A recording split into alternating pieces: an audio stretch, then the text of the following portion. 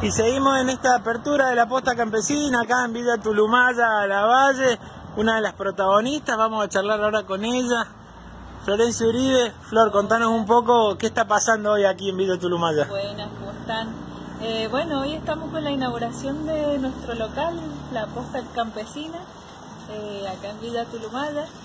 Eh, así que bueno, con mucha alegría, después de un montón de tiempo, de caminos recorridos, de de, esfuerzo, eh, hemos podido inaugurar este local donde tenemos productos de un montón de familias que, que, bueno, que nos abastecen y que están apostando a esta nueva forma de, de comercializar sus productos.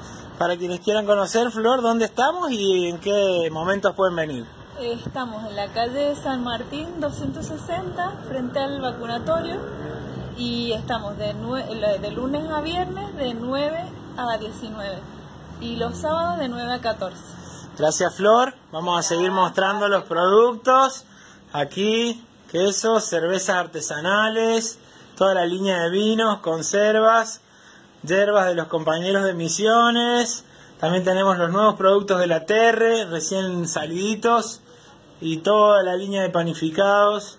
Y también, quienes quieran conocer, las artesanías en cuero, la cosmética y también productos textiles en este local recién inaugurado de la posta campesina.